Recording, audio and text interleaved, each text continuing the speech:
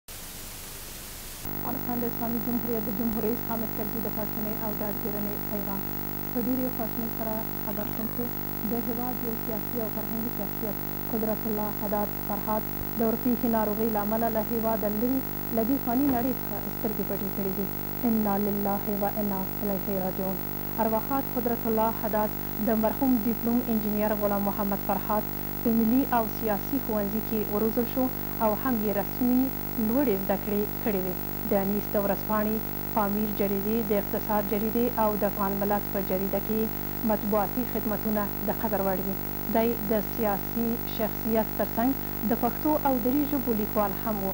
ډېرې مقالې او کتابونه یې لیکلي دي. د ده مړینه یوه ضایعه ده.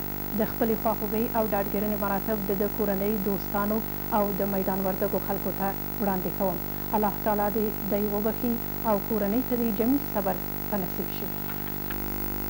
نشسته صرف.